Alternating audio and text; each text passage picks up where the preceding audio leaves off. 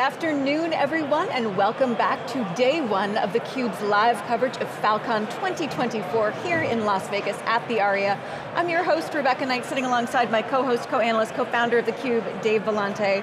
We've got two great CUBE veterans for our next segment. We've got Daniel Bernard, he is the Chief Business Officer at CrowdStrike. Thank you so much for returning to, to theCUBE.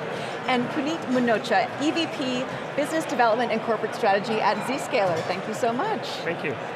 So I want to start by talking about your partnership, which is, it's a long-term partnership, a storied partnership, shall we say. Tell us a little bit more about how you work together. Sure. Well, we've done a lot of work with Zscaler over the years, both from a technology perspective, so that customers could really fully embrace zero trust. We secure the device, the cloud, et cetera. Zscaler, make sure that connectivity and authenticity is there. Um, so I think in order to really bring a zero trust strategy to life, we want our customers using Zscaler to do that here at the Falcon platform. Um, this partnership wasn't just about the technology, it also extended to the people and how we've gone to market together, which we both will talk about. The, we have over a thousand customers using the integrations between our products, a lot of large enterprise wins, it's truly global, our teams love working together, so happy customers, happy teams, happy companies. That's right, that's right, absolutely DB. I'll tell you, this all started about four, four and a half years ago. We had a, a customer in the real estate business, Cushman and Wakefield, and they were using CrowdStrike, they were using Zscaler, quite disparate environments, and the CISO who, pure coincidence, I just ran into an hour ago, uh, comes to us and says, listen, they have some telemetry, can I, can you ingest that into Zscaler? And at the same time, there's things that Zscaler is finding, can you signal that to CrowdStrike? And that was it the- It was a customer it was a customer. partnership. It was a customer That's that gave us that feedback. We sat down with the product teams and started whiteboarding, and the rest was history. And I ran into him, and I explained that we have over a thousand customers now using that integration. He was ecstatic. And uh, I can tell you, we have stories after stories where customers actually want to come on stage because they realize what we bring is the best of both worlds, right? Both companies are very confident in what we do. Uh, they're the market leaders on the endpoint and expanding out. We're in the market leaders on the network, we're expanding out. But we're confident in what we do and we want to partner with the best, right? So get to a point where customers do not have to make compromises, right? And that's sort of where this all, that's the foundation, if you will. Yeah, and it makes it easier that you're a pure play, you know, SASE play and not a conglomerate.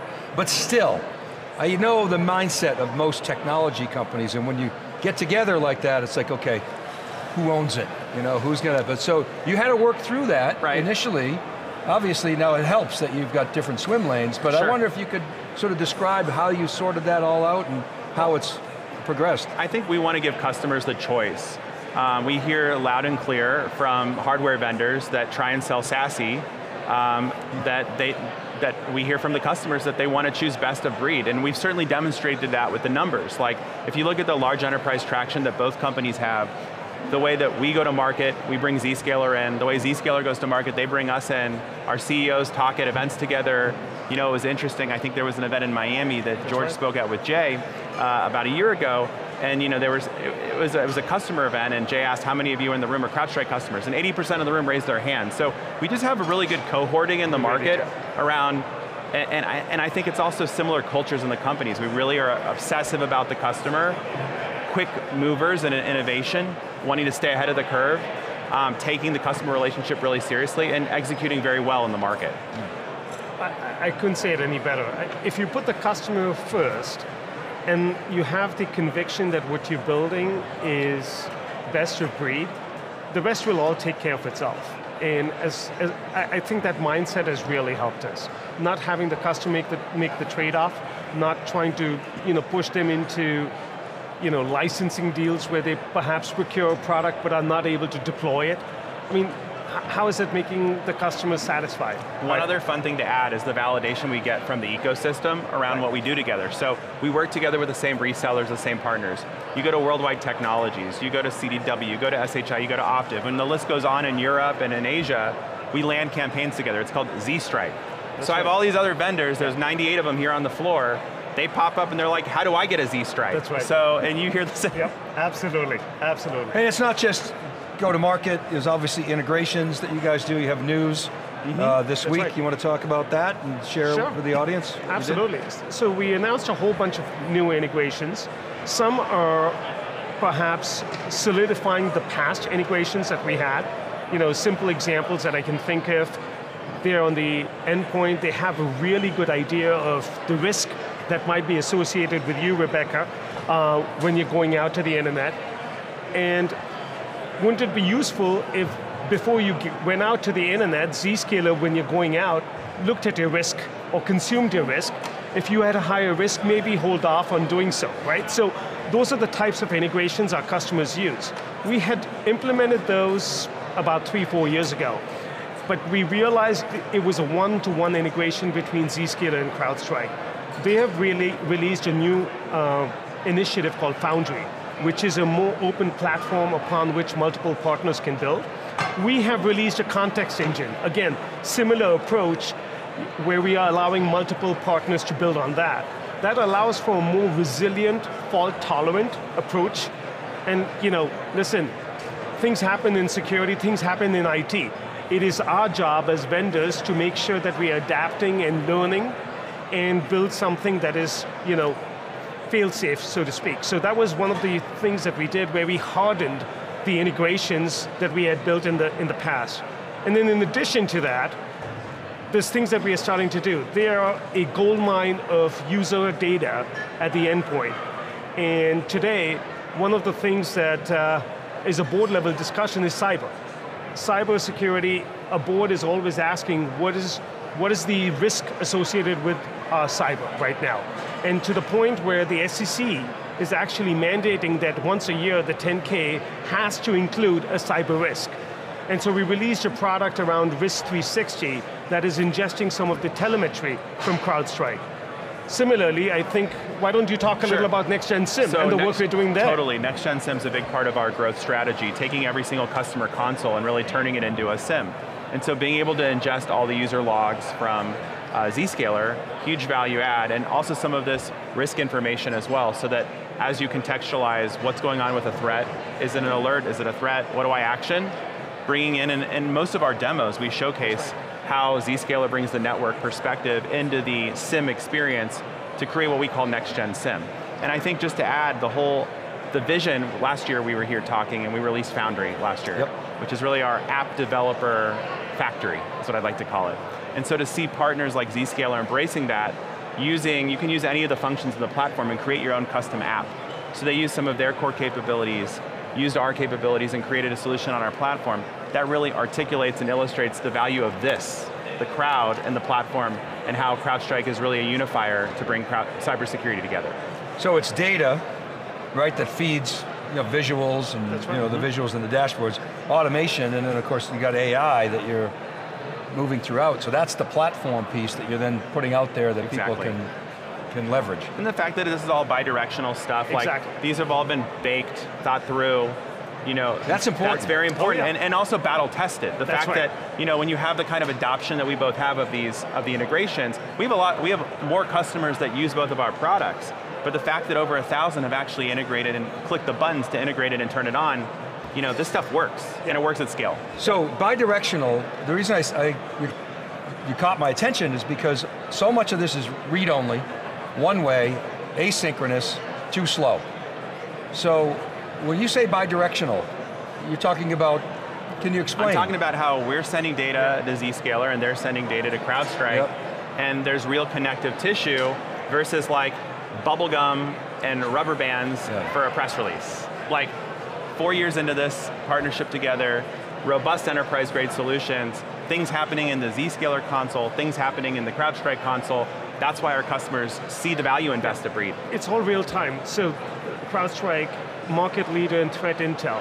We have the ability to, for customers who subscribe to the threat intel, have the ability to take that threat intel and immediately populate it in, and enforce it. It's a business policy that based on the threat intel, the user no longer has access to certain applications, right? So that's all happening real time. This is not something where, you know, because there's enough trust built in, we have confidence that what is coming totally. is of high telemetry with, and high value. With deep integrations, because I'll just share with the audience, a lot of the, a lot of times, you mentioned just bubblegum band-aids in a press release, a lot of times these automations are fragile scripts. Right. And they just break. That's Something right. changes, That's and oh, right. hey, we got to go back into this manual effort. Right. It doesn't work, especially at today's speeds. That's totally, totally. And if you look like in the market, we sell to the same folks. It makes sense. We compete with the same folks. There's a lot of reasons that That's we all work together and that we win together. And, and again, it's, it starts with the technology, but it goes to the shared DNA and the culture, and you really can't buy that. You have to just build that and, and, it, and have it come I to mean, be. Just, you guys can bring that, right. and, the, and the ecosystem. Would you say 98? Yeah, so 97 out, here exhibiting. You're going to outgrow the Aria soon. yeah, totally. To I know, I know. Every year, I think last year it was like a, a smaller number. So every year it grows. It's a record year. Attendees, partners, exhibitors. I mean, this is the ecosystem, this is the crowd. So let's talk about this ecosystem here. I mean, you're, you're already talking about how your customers are giving you business ideas, giving you feedback to, to, to get into new, new kinds of partnerships. Paint a broad brush picture of why partnerships are so critical sure. in cybersecurity. We're solving really complex problems, and there's about 4,000 different vendors in cybersecurity, which is a lot. Very few of them ever reach the milestone of 100 million in ARR and are really ready for the enterprise. But if you think about how do you stop a threat, first you've got to be able to see it, and then you need to be able to take an action. And ideally have that action be automated or AI powered or something so that you don't need a lot of humans. No single vendor in security does everything. And so having an open ecosystem approach where you can bring together best of breed is really the right strategy, number one. But number two, how matters. What I mean by that is like, then we get back into bubblegum and, and, and, and rubber bands. You really need things that are battle tested, that work together, that work bidirectionally, and that solve different problems. Zscaler solves different problems than CrowdStrike solves. So that, that's really, the, the third part of it is, what are other parts of the technology solution space that come together to make these things even stickier? So I think a good example for both of us is AWS Marketplace, yep. where we work with customers together, we help them optimize their budgets, we help them on their cloud transformation. We're cloud native, they're cloud native. Customers really love buying our technology through resellers on AWS Marketplace, and then it's a win-win for everybody. So exactly right. these things kind of all come in virtuous cycles. Yep, I, I, the only perhaps things I might add is security does tend to be very fragmented, and it make, when, you, when it's as fragmented as it can be, it adds complexity. When it adds complexity, it, it you know, there's room for error, there's risk. stuff that happens, risk gets introduced. And so there is generally a trend towards trying to consolidate that. I 100% agree, but at the same time, there's certain swim lanes that are very natural, and that's sort of where you know, Zscaler and CrowdStrike have landed, mm -hmm. that mm-hmm. allow ourselves to have that open ecosystem mindset, partner with the best, and, and go solve customers' problems. So I'm glad you said trying to consolidate, because it's hard. Yeah. yeah. so square the circle for me, because you got the startup accelerator, yeah. you guys are both consolidators. Yeah. Right? You got platforms you Absolutely. And yet you're funding all these, these, these startups because because there's problems to be solved. There's always problems right? To there's be solved. And that is part of the challenge. The, the innovation is so fast and furious that it's, it's really challenging for customers to reduce the number of and, vendors in their stack. Look, we both have to earn the consolidation that we deliver. Yes. We can say we're consolidators, and we are consolidators, but we're consolidators because customers, they talk with their wallets. Yeah. So there's room for everybody in this market. There's room for innovation. We want new innovators, dreamers to get excited and passionate and form new companies, and that's wonderful, because they create new spaces and maybe we're already there, maybe we're not there, that, that all doesn't matter. It's more products for us to integrate into, it's more problems for us to solve, and more things we can work on together. Both sides have the awareness that we don't know it all, and we got to keep learning, that growth mindset, if you will. That allows us to continue to make investments in startups and, and others to learn and see what the entire creative industry is doing around us because some of that might give us ideas that we might use together. Mm. Funding the next generation of cybersecurity innovation, really. Yep. Excellent. Exactly. Well, Bernard, thank you so much. Uh, Punit, thank you so much. It's been a pleasure having you on. A pleasure. Thanks, guys. Great to be here. Thank you. I'm Rebecca Knight for Dave Vellante. Stay tuned for more of theCUBE's live coverage. George Kurtz, of- up next. Yes, George, is Kurtz. coming. Oh my gosh, yes, thank Stay you. tuned. The Thank man, you the for myth, the legend. Exactly. Stay tuned for George Kurtz coming up very soon. You're watching theCUBE, key leader in enterprise tech news and analysis.